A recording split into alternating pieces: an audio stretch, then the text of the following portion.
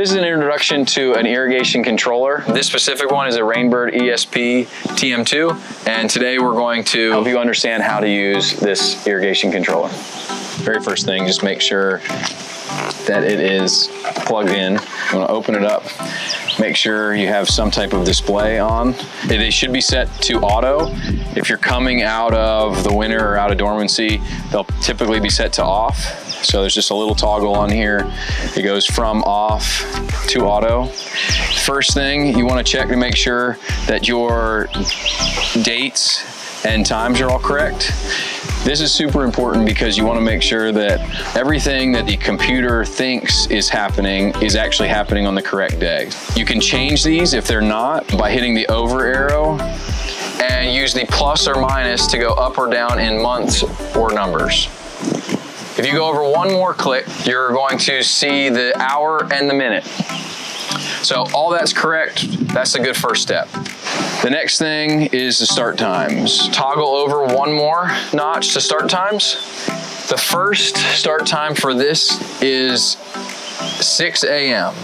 If I hit the over arrow, it'll be the second start time. This second start time is actually set up for off. I'm, I'm back on my first start time. If I wanted to change this, I could add 15 minute increments to the time. So now it would start at 6.15, now it would start at 6.30. Every time I hit that plus sign, it goes up 15 minutes. If you toggle over to run times, it'll start with station.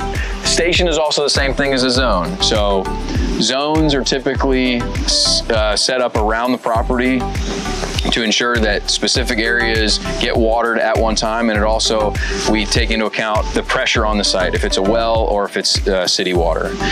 So station one is 20 minutes, is set for 20 minutes. If station one, I wanted to run for more than 20 minutes, I would hit the plus box and it'll go up one minute at a time. You can determine this by your soils and how much you're actually watering on the site.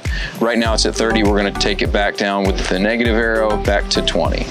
If I hit the over arrow, it'll go to station two or zone two. You can go up to six zones or six stations on this specific ESP TM2. Now the next thing is the watering days. Say tomorrow it's set for on right now and I want it to be off. I hit the minus box and it goes to a crossed out water droplet that signifies actually off. So we want to turn it back on. So I go back to Thursday and I hit the plus. If I toggle over to manual watering, manual watering you can actually run a zone outside of the normal schedule. So if I went to manual watering, I hit the over arrow, which is set up for 20 minutes, the same as zone one, and I hold that arrow, that over arrow in, and you know it's gonna start watering because there's a sprinkler head that starts flashing and the irrigation actually turns on. In a manual water, if I wanna shut that off, I wanna tip my toggle back to off and it'll turn everything off. If you go to off, always make sure that you go back to auto. One of the biggest issues that we see whenever we go to a client's house post installation or after the installation has occurred is the, the timer's off. Always make sure that the timer is on auto. The biggest thing after an install, we set these irrigation systems up for watering twice a day for 20 to 30 minutes per station or per zone. So we want them to run in the morning and the evening. The sod and your plants really require a lot of water that first 10 to 14 days. So make sure that they're running at least twice a day for that first 10 to 14 days after installation. And then after that 10 to 14 days, you can back that time off to once a day. And then a few weeks after that, you can actually back it off to once every other day. So overwatering is just as bad as drought conditions. So make sure that we use our irrigation sparingly sparingly when we need it. It's really designed to simulate rain events. So we want to get a good solid soaking on the property, on the plants, in the drip zone and on the turf zones and then we want it to dry out. We want that water to go down into the ground and make those roots go after it and try to find it. If you are constantly watering every day, twice a day, you're overwatering your property. You're nursing your yard along, you're nursing your plants along, you're nursing your trees along, and we don't want to be nursing plants and trees and sod along.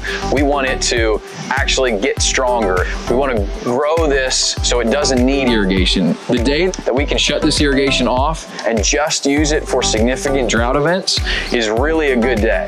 Save the irrigation for when you need it. It'll be there in times of drought in June, July, August, September, whenever it's very hot. The first 10 to 14 days, make sure you're watering twice a day after installation, and then you can back off after that. Um, you can turn the evening zone off, just water in the mornings, and then you can water every other day, or if you can just get down to maybe twice a week to simulate those rain events. This is a basic introduction to an irrigation controller, and I hope it helps you all to really understand your irrigation system and uh, prolongs the life of your plants and trees.